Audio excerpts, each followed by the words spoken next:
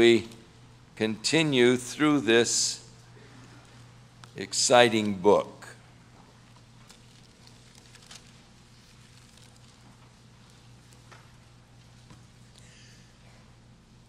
Now, Paul the Apostle, in chapter 1, showed that the world, Gentile world, was guilty before God. God revealed himself in nature. But man rejected the revelation of God, in fact, made such a foolish error, he began to worship and serve the creature or the creation rather than the creator. And we are surely at that point again today, where the worship of Mother Earth, worship of nature, rather than the Creator. In chapter 2,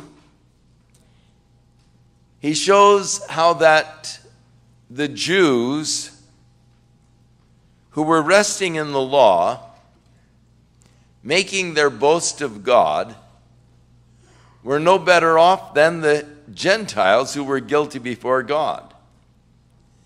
Because though they boasted in the fact that they had the law, they weren't keeping the law. And if you don't keep the law, then there's no value to the law. They had the ordinances of God. They had that seal of circumcision, which would indicate that they were to be a people that would live after the Spirit and not after the flesh a godly heritage, spiritual people, but that the circumcision did not make them spiritual. Being spiritual is something within the heart of a person, and it isn't an outward kind of ritual or ordinance. So, showing that the law had no value as far as making them righteous, just having the law didn't give them special privileges showing that circumcision, unless it really followed that in the heart they were living after the Spirit, the ritual itself did nothing, would naturally bring up the question that Paul begins with chapter 3. What advantage, what advantage then has the Jew, or what profit is there of circumcision? What's the advantage of being a Jew? What's the advantage of being circumcised? Paul's answer is much and in every way. There are advantages.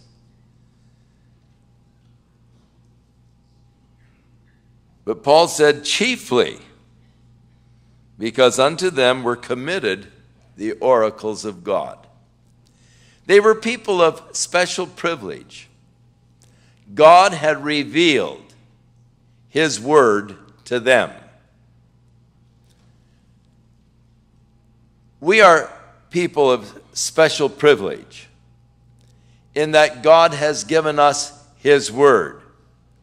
Tonight we're here to study the Word of God. And that is a tremendous advantage to have the Word of God. An advantage if you keep the Word of God and live by the Word of God. But if you don't keep the Word of God, if you don't live by the Word, then having the Word itself is not an advantage, but in reality, a responsibility. And you have a greater responsibility knowing the will of God than a person who has never known the will of God or the Word of God.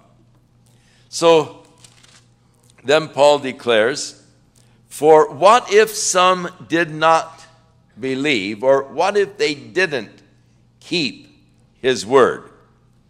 Shall their unbelief make the faith of God without effect? Here is an interesting concept.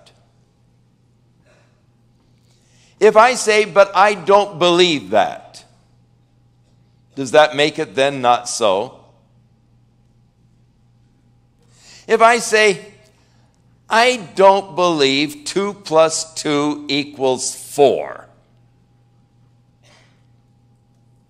and you give me two apples and two more apples, and I'll count them. I said, but I don't believe it.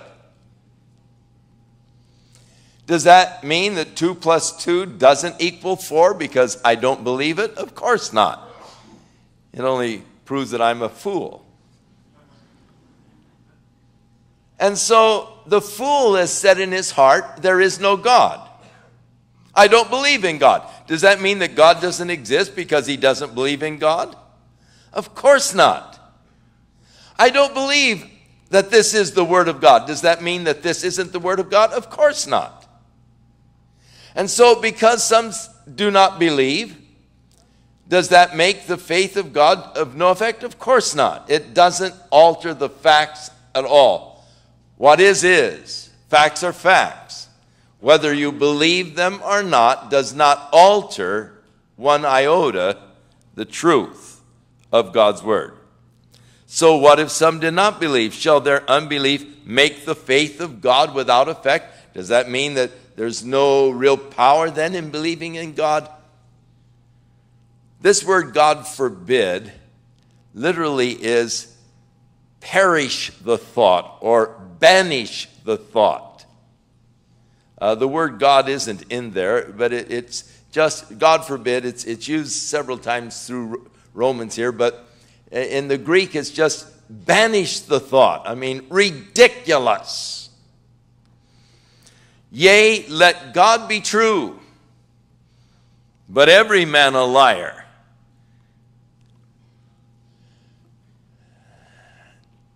God's truth stands. Believe it or not. And whether you believe it or not, let God be true. Let the truth of God stand. And if nobody believes it, it's still true because it's God's word. That you might be justified, speaking of God here, as it is written, that you might be justified in your sayings, that you might overcome or prevail when you are judged. Now, this is quoted from Psalm 51. When David had been faced with his sin with Bathsheba. And David prayed to God for forgiveness. You remember that prayer Have mercy upon me, O God. And according to the abundance of thy tender mercies, blot out my transgressions. For against thee and thee only have I sinned and done this great wickedness in thy sight. And here is where it says then, that you might be justified in your sayings, or righteous in your sayings, and you might overcome or prevail when thou art judged. Now, what he is saying here is that God is justified in what he has said. And men oftentimes challenge then what God has said about heaven, what God has said about hell, what God has said about the judgment of sinners. And many times people challenge the justice or the fairness of God.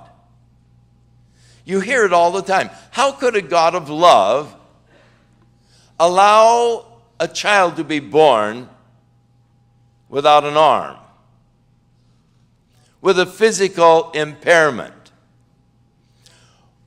Why would a God of love, and, and it's always the challenging by man of the fairness or the justice of God? There are so many factors that we don't take into consideration when we bring up these kinds of issues.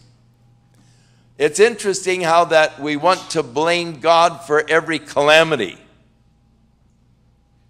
Even hurricanes are called acts of God.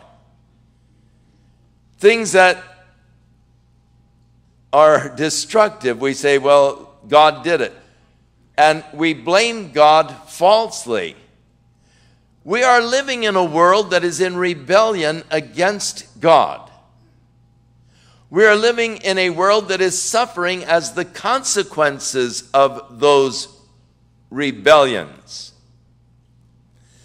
Prior to the flood, there were no hurricanes. There were no violent types of tornadoes and things that were destructive. The earth was surrounded and encompassed in a cloud or vapor that shielded out much of the ultraviolet rays. There did, there didn't have, they didn't know what skin cancer was. They lived to be 900 years old. They had a nice environment. But when God saw that the wickedness of man was exceedingly great, and his thought and the imaginations of his heart was only evil continually, God brought the judgment of the flood, removed this water protection barrier from the heavens. The great worldwide flood that followed. But with it followed climactic, dramatic climactic changes, and with it, the sudden shortening of man's lifespan. No longer living to be close to a millennium, a thousand years old. It's interesting when you think of man's history that Noah lived almost one sixth of the history of mankind. It's almost sort of frightening to realize I've lived over one one hundredth of the history of mankind.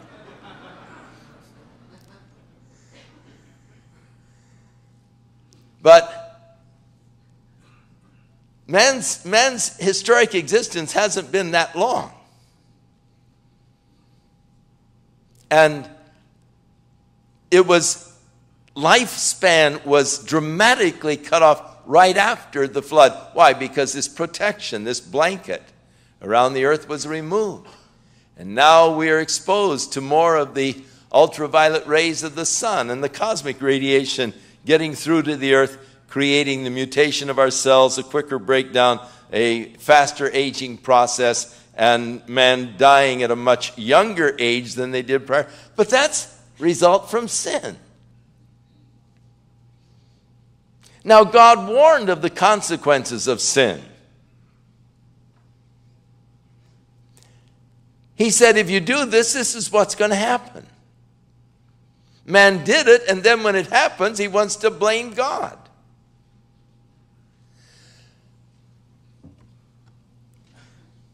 If you jump off of our offices next door, go up on the roof and try to fly, jump off.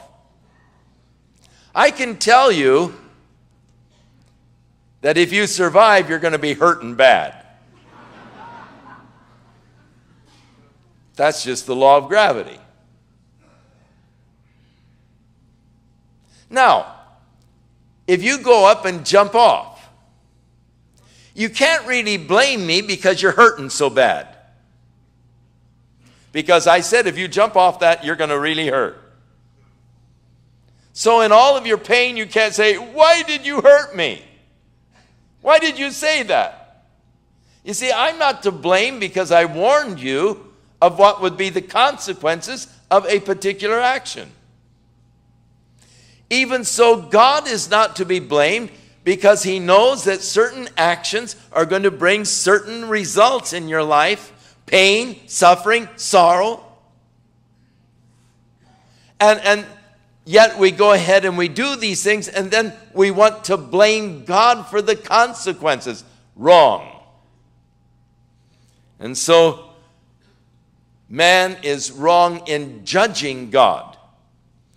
And so he is speaking of that here in verse 4 that you might prevail when you are judged. I have a hard time understanding the mindset of a man who would challenge God or who would judge God. Who am I to challenge the justice of God or the fairness of God? And yet we find people doing that, but he prevails. Now, here is their argument. But our disobedience, our unrighteousness has commended the righteousness of God. God did not destroy us. We as a Jew still exist. And our unrighteousness, and look at their history, always turning away from God.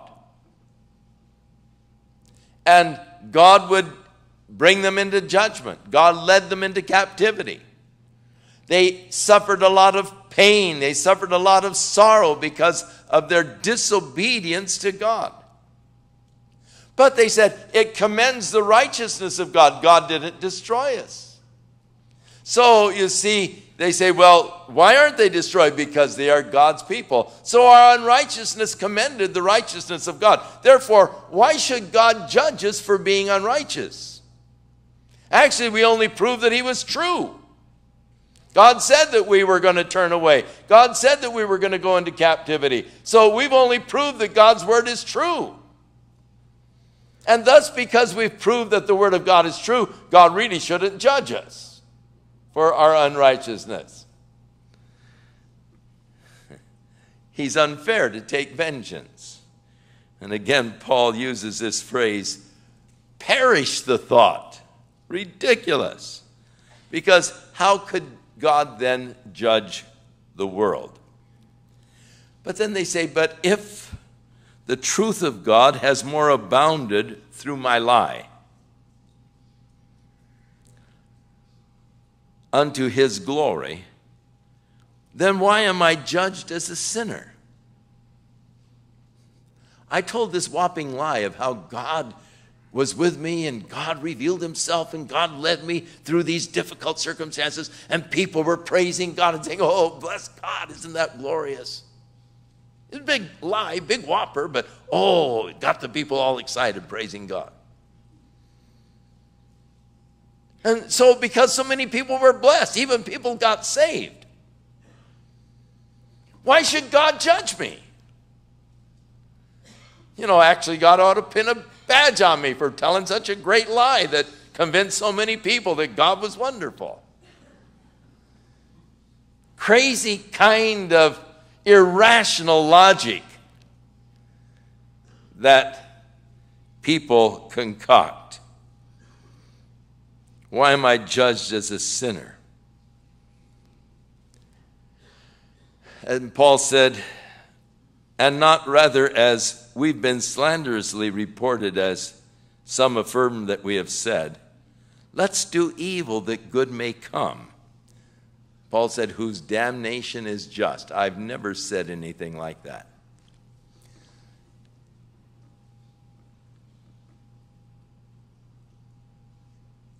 Now, God's grace and God's love and God's justification is a glorious thing.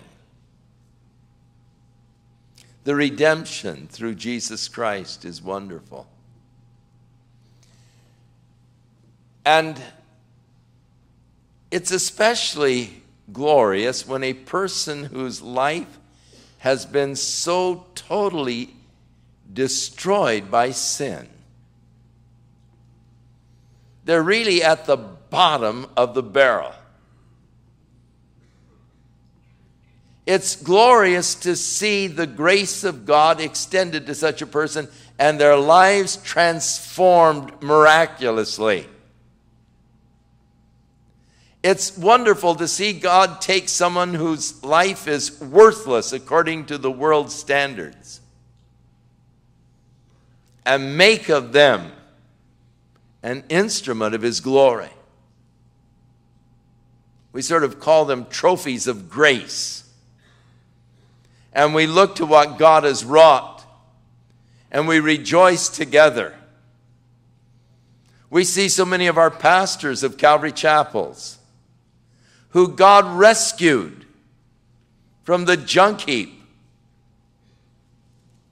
And God has raised them up and is using them mightily now in ministering the gospel around the world. And we see these men whom the grace of God has just been magnified because they were so low and God has lifted them from the pit, the miry clay, and has established their feet upon the rock. And, and now they're being such a power for God. Does that mean that I should go out and just really destroy my life in sin and take all the drugs I can get hold of and all so that then I can be saved and God's grace might people oh praise God look what he did for that poor soul and so people will glorify God because his grace is sort of exalted in that he reached to the depths and picks no no no you see but this is the kind of foolish reasoning that sometimes people have and Paul is saying, let's do evil that good may come. Some are saying that I am saying that. He said, their damnation is just. So the question again, another question. What then? Are we better than they? That is, we Jews better than the Gentiles? No, in no way. For we have before proved that both Jews and Gentiles, that they are all under sin. Now, the Jew had the advantage of receiving the oracles of God. God gave them his law, and God told them what he would do for them if they kept his law and God told them what the consequences would be if they broke the law of God. They broke the law of God, and God's word was true, and those consequences of which God warned came upon them. So we've proved that God's word is true.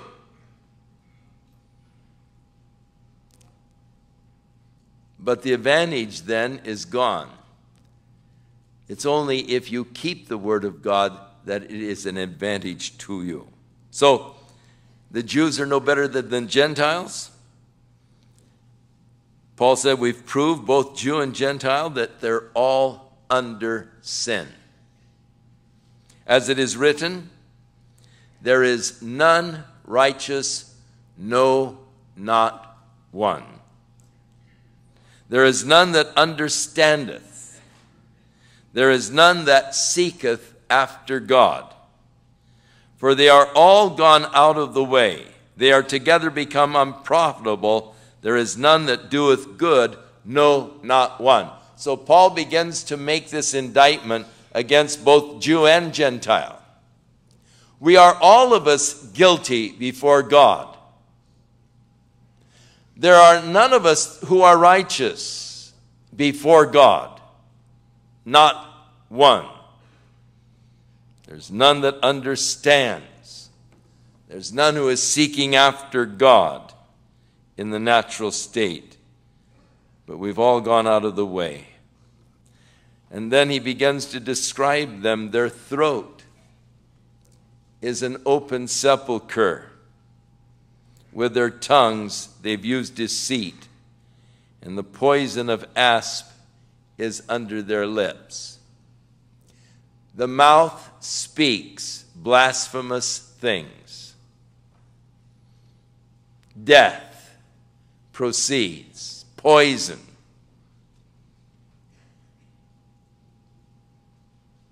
With their tongues, they've used deceit. The mouth is full of cursing and bitterness. The feet are swift to shed blood. Destruction and misery are in their ways. The way of peace they've not known. Feet carrying us to mischief. to bloody acts. There's no fear of God before their eyes.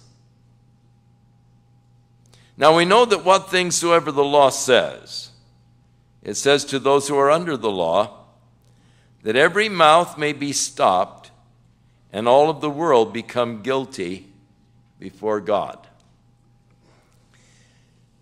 The law or keeping rules cannot make you righteous. As I was growing up in church as a young fellow, we had pledge cards that we signed each year at summer camp, the final night. We were to carry these pledge cards in our wallet, which I did, in which I pledged to keep my body pure, not to smoke, not to drink. I pledged not to go to dances. I pledged not to use any foul language. And I kept that pledge card in my wallet. And I did my best to keep that pledge. I didn't go to shows, I didn't go to dances, I didn't drink or I didn't smoke. Kept my body pure. But I was looking at that as the basis for my righteousness. And I felt I am righteous because I don't go to shows and I don't go to dances, and I don't drink, and I don't smoke. And that was the basis of my righteousness. Pray so many hours a week and read so many chapters of the Bible, and that was the basis of my righteousness. It was a righteousness of rules that I was keeping. But the keeping of rules cannot give you a righteous standing before God. And, and that was my big mistake. I thought that the keeping of these rules gave me a righteous standing before God. Now, not to imply that I was perfect, not by a long shot. There were times when I would get angry and in a fit of temper, I would swear. And for a week, I would feel horribly guilty. I would pray. I would wait for Sunday night so I could get saved again.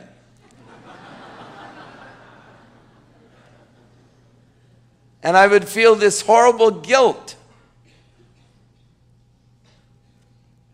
And I would renew my vow to God, asking His forgiveness. But the whole while feeling, I really have no right to ask God for anything or expect anything from God because of how I failed. I failed God, and thus I have no right to ask God for anything because I was looking for God to bless me on the basis of my righteousness, which was predicated upon my not drinking, smoking, this kind of thing, rules that I was keeping. Now, Paul is here talking about what the law says. It says to those that are under the law that every mouth may be stopped and the whole world may become guilty before God. Because you see, if you keep the whole law and you violate in one point, you're guilty of all. It doesn't matter which point you violated, you're guilty. Now, though I never did smoke and never did, you know, drink or whatever, yet I did sneak off once in high school and went to a show.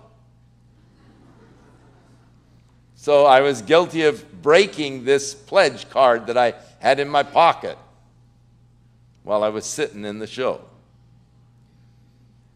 And I still remember that miserable night. it was in the Broadway Theater there in Santa Ana on Broadway. Stars and Stripes Forever.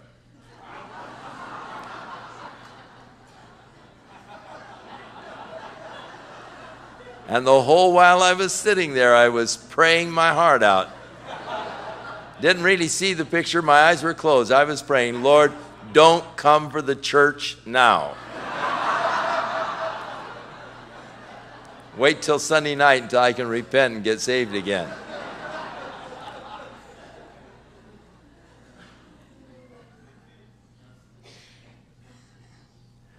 The law cannot make you righteous. All the law can do is point out your guilt.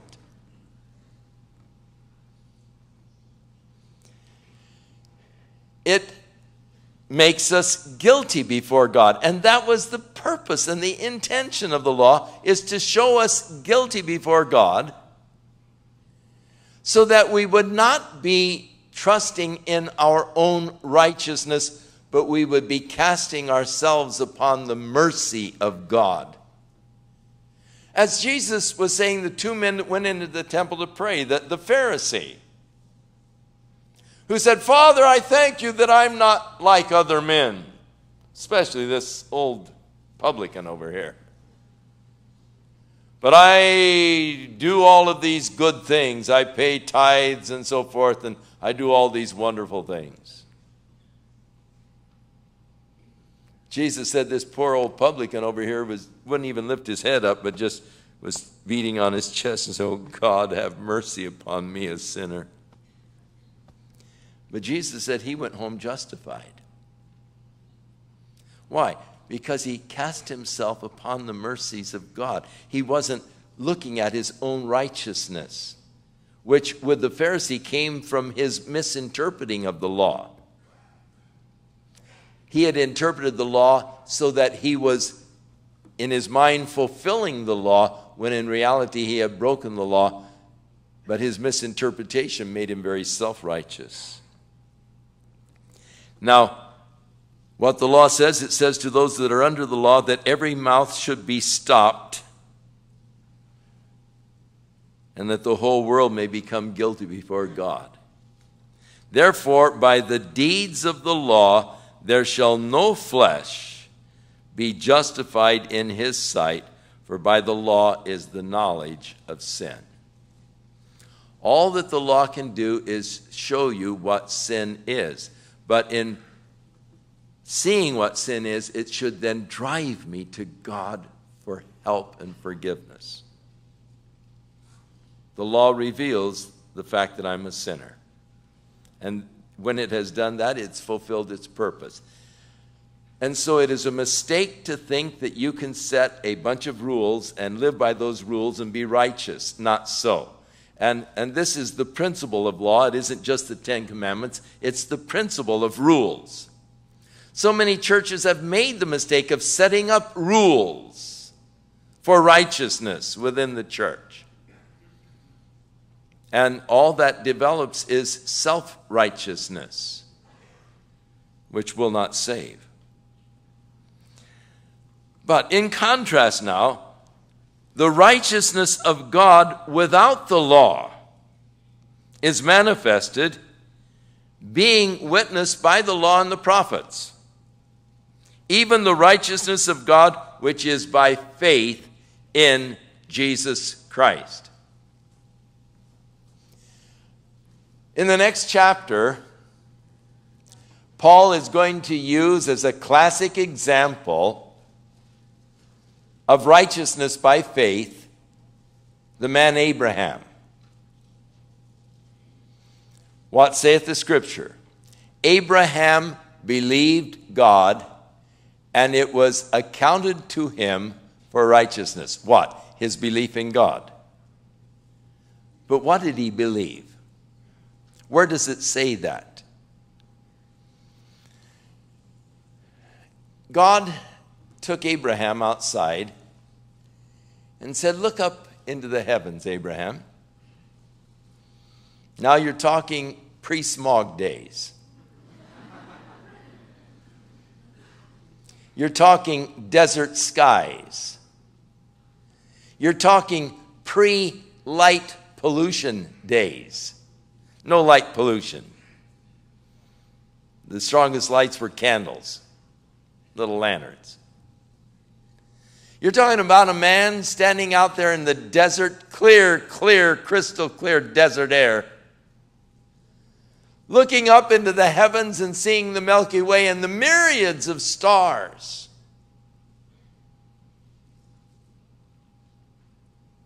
And God said to Abraham, who at this point was still without his promised son,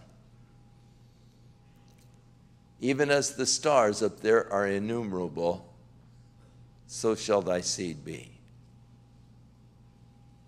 And Abraham believed God, and his belief was accounted for righteousness. God said, Righteous man, because he believed God. But just a minute. So shall thy seed be. Abraham understood that God was promising that the Messiah, Jesus Christ, would come from Abraham's seed, that he would be a descendant of Abraham. For as Paul writes a commentary on this passage in Galatians 3:16, Paul points out that it was unto his seed singular as of one, not seeds plural as of many, for that seed is Jesus Christ. So Abraham believed in Jesus Christ.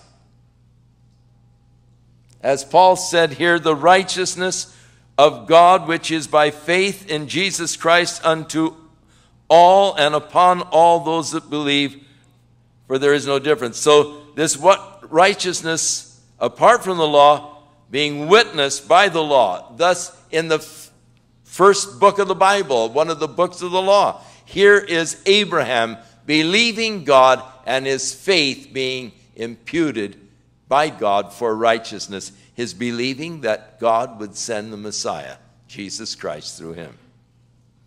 So, this righteousness of God through faith in Jesus Christ that is unto all and upon all of them that believe, for there is no difference. For all have sinned and come short of the glory of God. When you talk about sinners, we're all on the same level. We're all guilty. We've all sinned and come short of the glory of God that's almost a redundant statement because basically the, the definition for sin, missing the mark, is the same idea as coming short. We haven't lived up to the mark. We've come short of the glory of God. Now, some people are better than others, admittedly. They're not nearly as mean and cantankerous. They have a much sweeter nature. They're not always flying off at every little thing.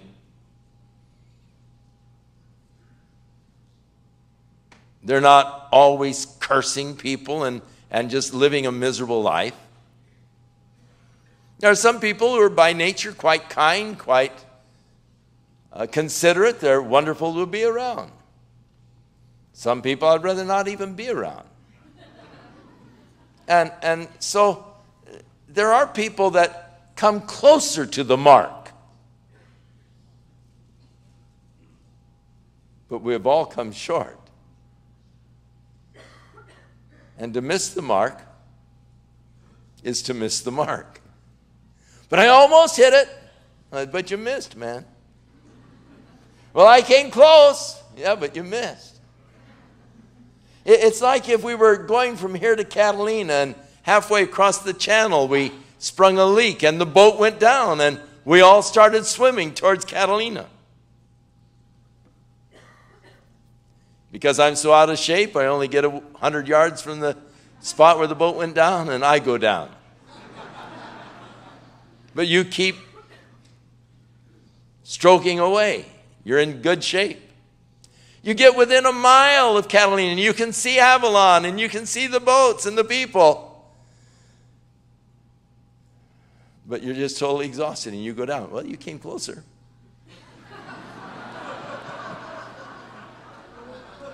but we both drown. So, you see, the fact that the consequences are the same. We're sinners. And as sinners, we are then under the judgment of God against sin. Oh, but I'm a pretty good sinner. That's your problem.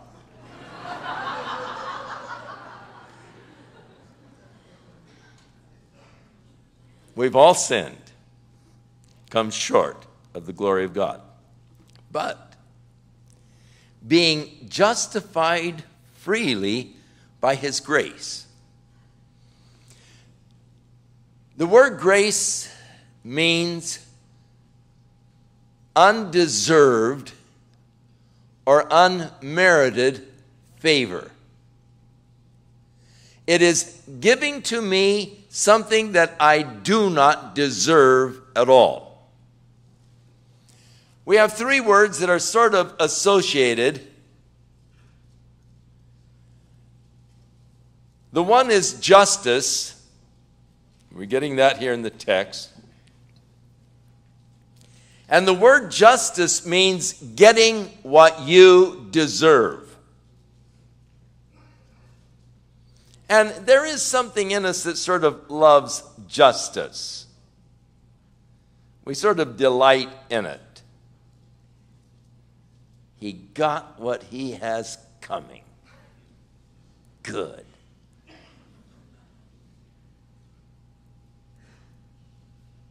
It's getting what you deserve. Mercy. That's not getting what you deserve.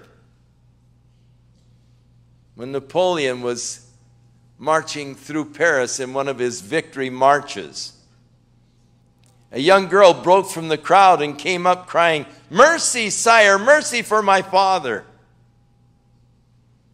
He said, Who is your father? And she named him, and he said, Your father's a traitor to France. He deserves to die. She said, I didn't say justice, sire. I said mercy. Yes, it deserved to die, but mercy. It's not getting what you deserve. Grace is getting what you don't deserve. I don't deserve the forgiveness of sins. I don't deserve heaven. I deserve hell.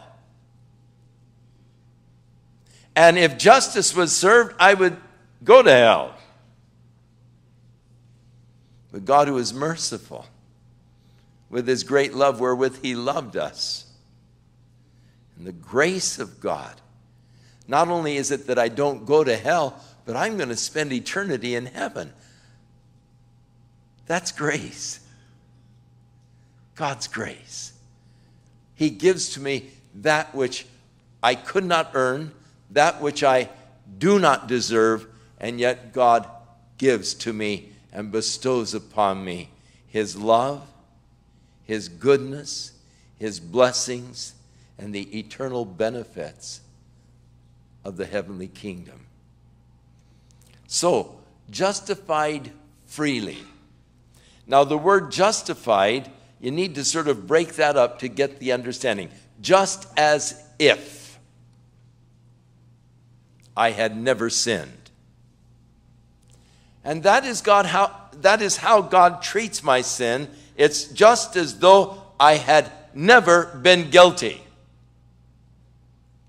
And God has justified me freely through His grace.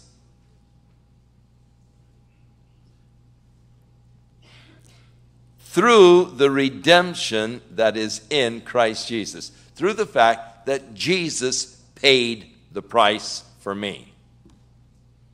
He died in my stead.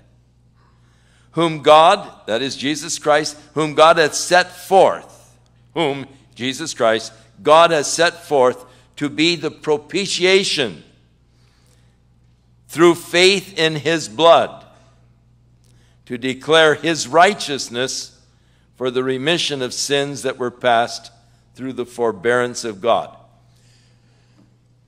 The judgment of God that had been pronounced against sinning man,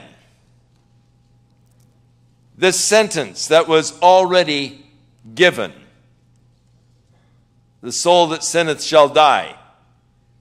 The wages of sin is death. That sentence that had been declared, righteously declared by God against sinning man.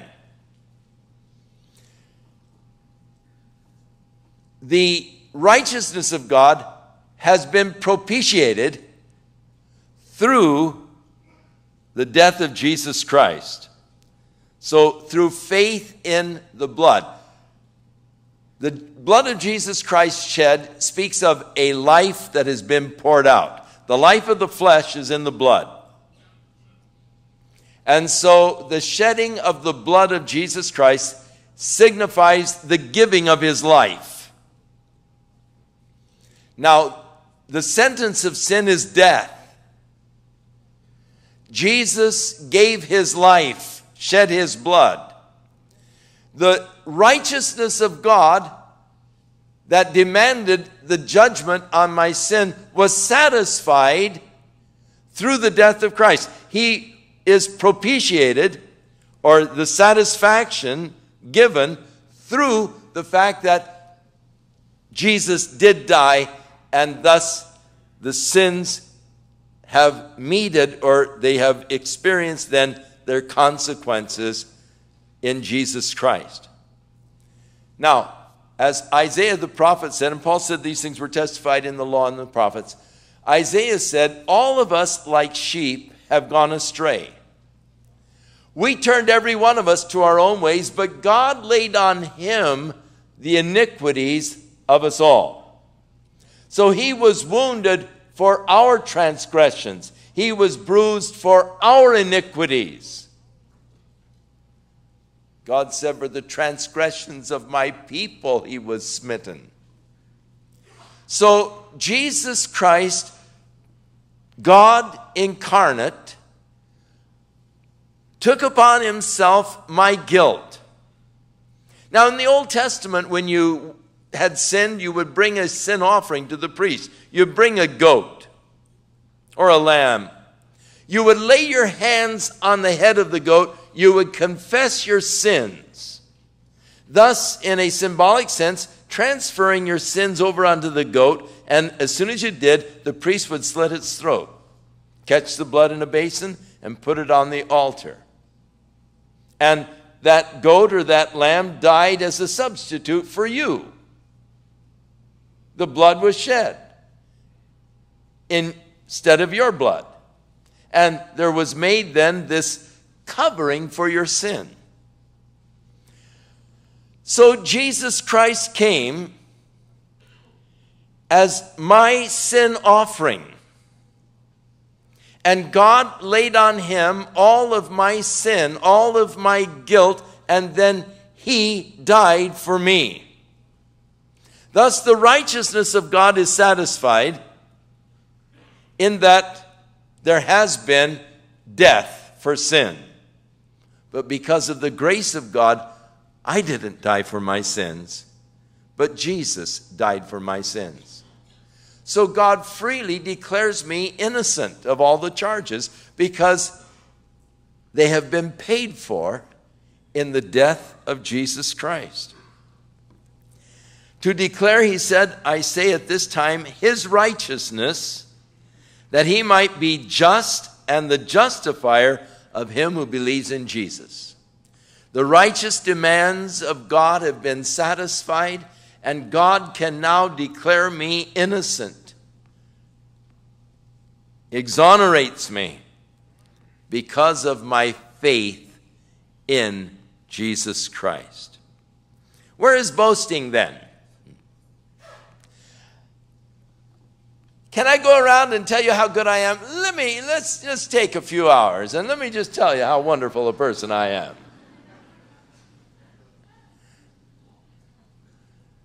All I can say is, I am a poor, wretched, miserable sinner, but Jesus died for me. He paid it all. All to Him I owe. Sin had left a crimson stain, but He washed it white as snow. The boasting is eliminated because it is not by my righteousness that I am saved, it's not by my good works. I am saved by my simple faith and trust in Jesus Christ, clinging to Him and His work. God says, exonerated, forgiven. As Paul was writing to the Ephesians, he said, For by grace are you saved through faith, and that not of yourself. It is a gift of God, and not of works, lest any man should boast. For we are his workmanship I'm so glad for that. For when we get to heaven, we're not going to have to sit around and listen to one another brag over all that they did to get there. All the sacrifices I made and all of the things I, and all, you know, uh uh-uh. uh When we get there, we're all going to be surprised. We just sit there and say, wow. Isn't Jesus wonderful? He took all of my sin, He took my guilt, He took my trash, He took my junk, and He died for me. And now, by my trust in Him, God has exonerated me and brought me into His presence that I might be here in the kingdom of God forever. Oh, praise the name of Jesus. And all the glory and praise will be going to Jesus when we are there not bragging and boasting. Where is boasting? It's eliminated. By what law? Of works? Oh, no, no, no. If I were saved by works, then boasting is in. But it's by the law of faith, because it is not what I have done, but what I believe that God has accounted me righteous. Therefore, we conclude that a man is justified by faith without the deeds of the law, without rules and regulations. Is he the God of the Jews only? Is he not also the God of the Gentiles? Oh, yes, of the Gentiles also. Seeing it is one God, which shall justify the circumcision by faith and the uncircumcision through faith, do we then make void the law of God through faith? Oh, God forbid, or perish the thought. Yea, we establish the law. No, we don't negate the law of God. We establish the law of God. It was the thing that showed us our helplessness. It was the thing that revealed to us that we couldn't do it on our own, that we needed to reach outside of ourselves for the help of Jesus Christ. And it was the law of, it was the law that drove me to Jesus Christ to cause me to put my trust and faith in him because I realized that I couldn't keep the law. And so I've established the law, its validity in fulfilling the purpose for which God gave it, and that is to reveal what sin is to me so that I might know that I'm guilty and I need God's help. And thus seeking the help of God, believing in Jesus Christ, I'm justified apart from the works of the law or apart from certain rules that would make me feel, well, I'm righteous because I do this and I do that. I'm righteous because I believe in Jesus Christ. Oh, but aren't you opening the door then for me to do anything? Well, I do anything I want. But what I want is to please Him more than anything else. I'm now bound by another law, not of rules and regulations, but the law of love. For the love of Christ, Paul said, constrains me. That's the thing that pressures me to live the right life. I love him so much, and he loves me so much. I don't want anything to come between us. I want to do those things that please him. I don't want to do those things that would be distasteful or displeasing to him. And so it is the love of Christ that draws me, and I live actually by a much higher standard than I would if I were under rules. Because it's interesting, the human nature being such as it is, if there are rules by which I am regulated and held in check, I'm always going to find a way to bend the rules, to push the limits. You know, you kids are always doing that, pushing the limits. How far can I go? And that's the way it is when you're under the law. You're always pushing the limits. But when you're under this bondage of love, oh man, it's not how close can I live to the world and still be a Christian, but how close can I live to Jesus?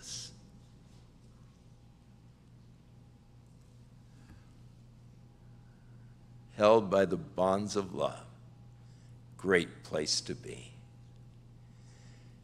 And when you know and discover the grace of God, which we will be discovering more and more as we continue on in Romans.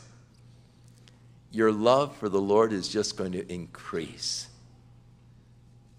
as you realize what God by grace has wrought for you, has done for you, and what He's planning to do for you, who by simple faith in Jesus Christ have come to trust in Him.